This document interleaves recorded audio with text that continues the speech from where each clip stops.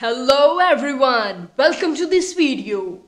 Kim Hamilton, an African-American actress who appeared on stage, in films and on television and was the wife of the late actor Werner Klemperer, Col. Klink on Hogan's Heroes, at the time when mixed marriages were uncommon even in Hollywood, died of the natural causes in Los Angeles on September 16 four days after her 81st birthday.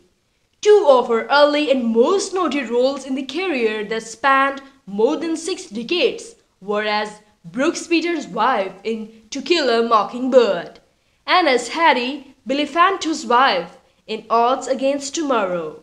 She had most recently appeared in the 2010 film The Beginners. She appeared in many other films, including The Greatest Story Ever Told, Body and Soul, The World's Wild Angel, and the cut film Leech Woman.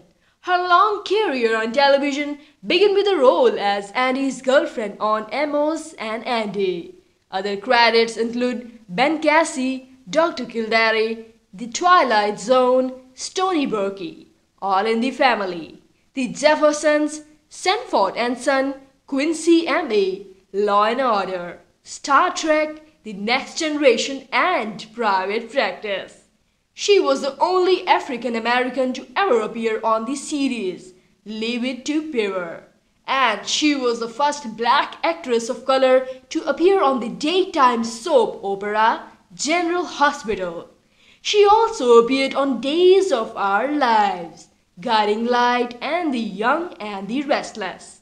On stage, she played Ruth in the premiere production of Lorraine Hansberry, Raisin in the Sun, and the Adelphi Theatre in London and appeared in many different productions in Los Angeles, New York, and Washington, D.C., where she appeared in a production of August Wilson Fences. She appeared in the production of The Blacks and the Mark Taper Forum and at the Everett Theatre in Los Angeles and played Abby in the production of Desire Under the Elms at Theatre West.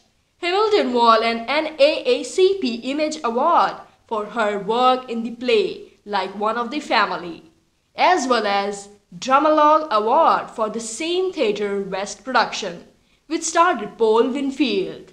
In 2007, Columbia University honored Hamilton with a Life Achievement Award Hamilton was married to actor Werner Klemperer for 24 years, until his death in the year 2000. They appeared on stage together in the production of Love Letters in the 1990s. Survivors include her daughter, four grandchildren and four great-grandchildren.